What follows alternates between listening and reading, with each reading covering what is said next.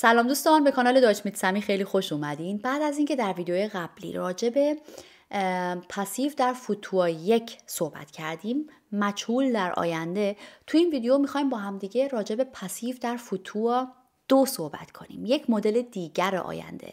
پس من همراه باشید. خب دوستان برای ساختن Passiv در Futur دو نیاز داریم به دو نوع گرامر زبان آلمانی که بعد با هم دیگه به هم دیگه وصلشون کنیم. اول به گرامر فوتور دو و بعد به گرامر پسیو در پرفکت در حالت پرفکت خودش حالت گذشته خودش. کوتاه یک مروری می‌کنیم بر این دوتا قواعد گرامر در صورتی که گرچه براشون ویدیو دارم ولی کوتاه اشاره می‌کنم اینجا بهش. فوتور دو چیه؟ ما از فوتور دو در زبان آلمانی استفاده می‌کنیم که بخوایم راجع به یک اتفاقی در آینده صحبت کنیم ولی به اتمام اون اتفاق اشاره کنیم. یعنی چی؟ مثلا من می‌خوام بگم که پنج سال دیگه من اون خونه رو خریدم تموم شده رفته. نمی‌خوام بگم پنج سال دیگه من اون خونه را خواهم خرید. می‌خوام بگم اشاره کنم به اینکه خریدمش کلیدش دستمه. تموم شده این کار. در واقع یک گذشته در آینده. به یعنی وقتی ما بریم توی اون نقطه زمان باشیم اون اتفاقی که در راجعش صحبت می‌کنیم گذشته ما هست. سخت نکنم حالا خیلی. پس چی می‌خوایم بگیم؟ پنج سال دیگه من اون خونه ها رو خریدم تموم شده رفته میگیم ich werde in fünf Jahren das Haus gekauft haben. Ich werde in fünf Jahren das Haus gekauft haben. چه اتفاقی میفته ما برای نشون دادن آینده نیاز داریم به فعل کمکی وردن که جایگاه دوم جمله قرار گرفته. ich werde این داره اشاره می‌کنه به اینکه این جمله که من الان دارم میگم آینده هستا. در آخر جمله چیه؟ Perfekt رو داریم. چون که گفتم گذشته ای هست در آینده. ساختار Perfekt چیه؟ ما نیاز داریم به فعل اصلیمون در حالت Partizip دو به علاوه haben یا اینکه sein بستگی به این داره که فعل اصلیمون نیاز به کدوم فعل کمکی داره؟ فعل kaufen Partizip دوش چیه؟ هستش که gekauft خریدن. و فعل کمکیش چیه؟ haben ه. پس ich werde in fünf Jahren das Haus gekauft haben. و haben یا اینکه sein در حالت مستر میرن آخر آخر جمله میشینن. ما فقط فعل دوم رو باید صرف کنیم در زبان آلمانی. اون فعلی که جایگاه دوم میشینه. Ich werde in fünf Jahren das Haus gekauft haben. اگه فعلمون مثلا کامن بود یا اینکه گین بود در اون صورت بعد sein میومد آخر جمله okay بعد توجه کنیم که در Perfekt اون فعل نیاز به کدوم فعل کمکی داره حالا ساختار Passiv Perfekt چیه در Passiv Perfekt ما همیشه نیاز داریم به فعل sein که میاد صرف میشه جایگاه دوم جمله فعل اصلیمون در حالت Partizip دوی خودش میره یکی مونده به آخر جمله و همیشه فعل وادن میره آخر آخر جمله. وادن واردن واردن. او داره. وادن. خب؟ و این وادن فقط برای این حالت پاسیو اصلا استفاده میشه. هیچ جای دیگه این کلمه استفاده نداره و همیشه واردنه. پس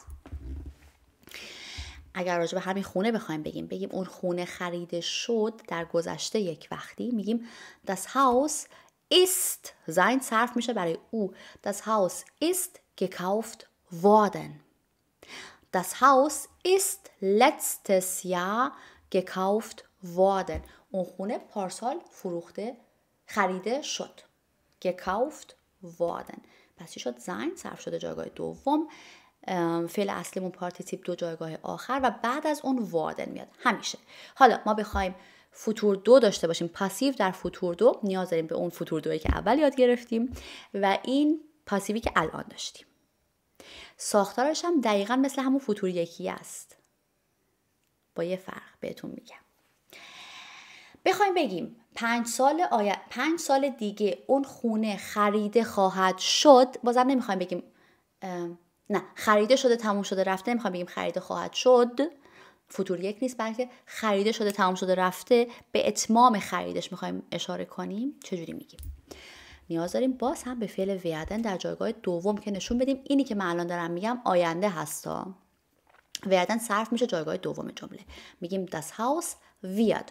اون خونه wird صرف میشه برای او بازم.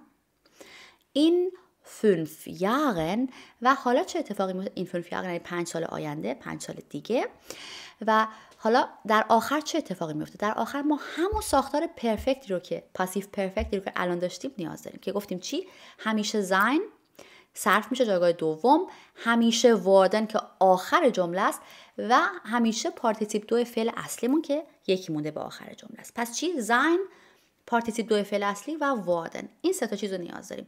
با این فرق که چیدمانش فرق می‌کنه. همشون میرن آخر جمله. به چه ترتیب؟ میگیم. Das Haus wird in fünf Jahren. اول پارتیسیپ دو فعل اصلیمون میاد. Kaufen میشه. Gekauft. Gekauft. بعد گفتیم وادن همیشه است. وادن و بعد همون زاینمونه. ولی بازم حالت مستر میره آخر جمله. چون که ما فقط فعل دومی جمله رو یعنی جایگاه دومی جمله رو صرف می‌کنیم. Das Haus wird in fünf Jahren gekauft worden sein. ما این جمله وقتی همجوری نگاه می‌کنیم میگیم این چه جمله ای اصلا آلمانی من نمی‌خوام یاد بگیرم. ولی اگر ما بدونیم فوتور دو ساختارش چیه سر وقتش یاد گرفته باشیم درست. و اصلا چرا استفاده میشه؟ و اگر بدونیم پاسیو پرفکت ساختارش چیه سر وقتش درست یاد گرفته باشیم با تمرین کافی با این جمله اصلا نباید مشکلی داشته باشیم. چون که این جمله همون ساختار فوتور دوه فقط اکتیو نه پاسیو مجهول. ساختار فوتور دو گفتیم چیه؟ ویادن صرف شده جایگاه دوم جمله و حالت پرفکت فعل یعنی خود فعل حالت حالت پرفکت نداره ولی ساختار پرفکت برای اون فعل آخر جمله. اکتیو. اگر پاسیو باشه باز هم ویادن صرف شده جایگاه دوم جمله علاوه ساختار پرفکت در پاسیو آخر جمله. پس ما اگر بدونیم فوتور دو ساختارش اینه که گذشته ای در آینده هست نیاز داریم به پرفکت و فوتور یک در واقع که همون با ویردنه می‌تونیم اینجا هم برای خودمون بفهمیم که اوکی الان که پاسیویم پس نیاز داریم به پاسیو پرفکت. باز هم پرفکت آخر جمله علاوه اون ویردن که نشون بده آینده است. یه مثال دیگه با هم می‌بینیم. می‌خوایم بگیم مبلمان هفته آینده تحویل داده خ... نه. مبلمان هفته آینده تحویل داده شده تموم شده. یعنی بازم می‌خوایم اشاره کنیم که هفته آینده دستته رسیده تمومه. قرار نیست تحویل داده بشه تموم شده. اوکی؟ میگیم nächste Woche nächste Woche هفته آینده. Werden die Möbel اون مبلمان werden هم که برای صرف شده برای دی möbel برای آنها. و الان این وردن اولیه خب بازم فوت برای نشون دادن آینده بود. در آخر چی نیاز داریم؟ نیاز داریم به حالت پرفکت در پاسیو فعل اصلیمون چیه؟ لیفن یعنی تحویل دادن. پارتیسی دوش چیه؟ گلیفت پس میشه.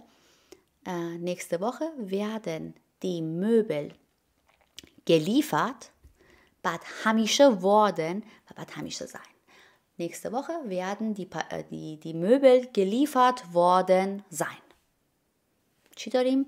werden صرف شده جایگاه دوم برای نشون دادن اینی که من الان دارم میگم آینده هستا. و یه دونه پرفکت در آخر جمله که نشون بدم اینی که دارم من میگم یک گذشته ای هست در آینده. یک اتفاقیه که در آینده تموم شده رفته.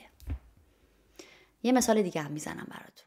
می‌خوایم بگیم اون پروژه سال آینده تموم خواهد شد. به اتمام خواهد رسید. نه خواهد نبود. خواهد فوتور یک بود. ببخشید. من نمی‌دونم ترجمه صحیح فارسیش چیه. فوتور دو رو می‌خوایم. می‌خوایم به اتمام اون پروژه ها اشاره کنیم. در واقع بازم یک گذشته در آینده. سال آینده اون پروژه تموم شده رفته. اینو می‌خوایم بگیم. به اتمام رسیده رفته. خب میگیم. das Projekt اون پروژه. das Projekt wird سال آینده. im kommenden یا سالی که داره میاد im kommenden. kommend چیه؟ kommend Partizip یک فعلمونه که حالت صفتی گرفته صفت شده. برای اینم ویدیو دارم توی اگر توی قسمت گرامر توی پلیلیست گرامر نگاه کنید برای اینم ویدیو دارم. im kommenden یا توی سالی که داره میاد. کجا بودم؟ das Projekt wird im kommenden Jahr. حالا بازم Perfekt نیاز داریم.